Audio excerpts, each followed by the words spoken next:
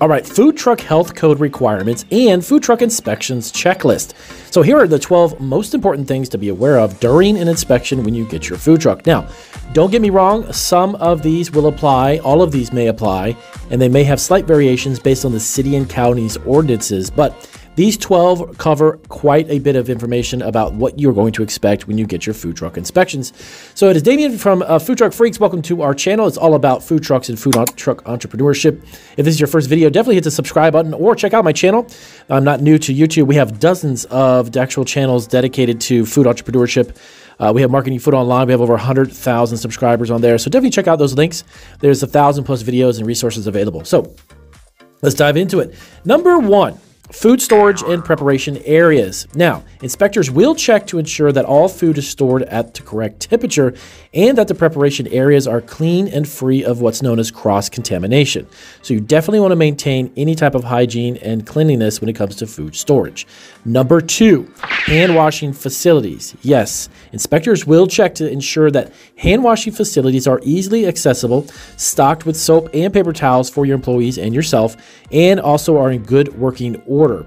This was actually something that we had in our commercial kitchen here at our facility. Um, it's actually the Department of Agriculture inspects us, not the health department. Slightly different than a food truck, but we had to have all of those sinks, including an individual separate hand washing sink as well. Now, number three, Food handling procedures. Yes, inspectors will observe food handlers while they're actually there, by the way, to ensure that they are following proper food handling procedures, such as wearing gloves while they're preparing food, using utensils, and handling food properly. So they're actually going to observe you, believe it or not, um, in the process of what your steps are for making your food products. Uh, most of the time, they're going to take some a few extra minutes and say, "Hey, you know what? Put together some food. I want to see how you're doing it." This is absolutely normal and something you will definitely run an encounter with, okay? Number four, pest control. Super, super important, guys, especially with a food truck. Um, so inspectors will check for evidence of pests, such as rodents or even cockroaches, and will ensure that proper pest control measures are in place on your food truck. So if you don't have those in place and you don't have it inspected, make sure one really important thing that kind of gets overlooked is when you're dealing with a food truck, being that it's a mobile kitchen, making sure all the corners are sealed properly, that there's nothing getting in and nothing getting out, kind of a thing. You want to make sure that it's completely sealed up because that is one major role in pest control when it comes to your mobile kitchen. Number five, food labeling. Okay, so inspectors will check to ensure that all food is properly labeled with ingredients and any relevant allergen information. So again, if you've got ingredients, you've got them in jars, canisters, refrigerators that you have, maybe you have a freezer on your truck, make sure that they are labeled properly. This is something I ran into when I ran my bakery, um, and we had our inspections as well from the Department of Agriculture when they came in our bakery was uh, kind of pretty much the same guidelines as a food truck. Uh, everything had to be food labeled properly, making sure the expiration dates, first in, first out, that method, and everything else. So make sure that you've got the right food labeling, not just some random information on there, because they will check every single bottle, container, and canister. That I can actually test for personally, my own experience. Number six uh, equipment and utensils. So, inspectors will also check that all equipment and utensils are in good working order and are actually being properly cleaned and sanitized. Remember, you're most likely going to have a three compartment sink on your food truck. It might be small, but you have to wash, rinse, and sanitize. That's kind of like the norm in the food industry. So, you want to be sure that you're following those procedures and sanitizing, not just rinsing and washing, but they have to be clean. Number seven. Okay, so water supply.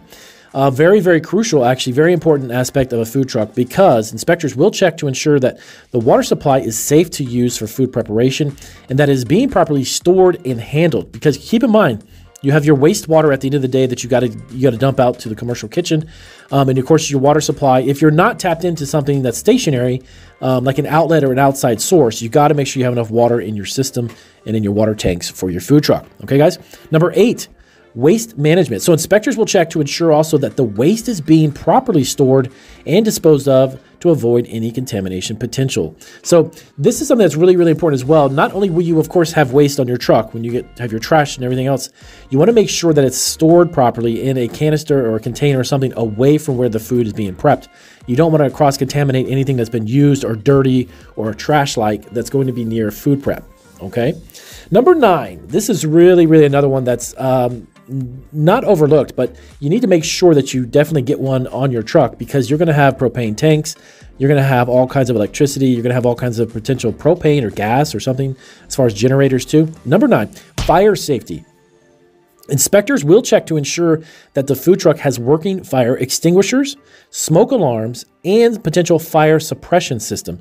So you want to make sure that if you're dealing with anything like open flames, or if you're cooking within the fire, uh, the fire truck, the food truck itself, that you also have that fire suppression system. Those are basically like a, a small miniature uh, sprinkler system within the unit to make sure it puts out anything potentially that can break out. So you want to make sure you get that done as well. Number ten.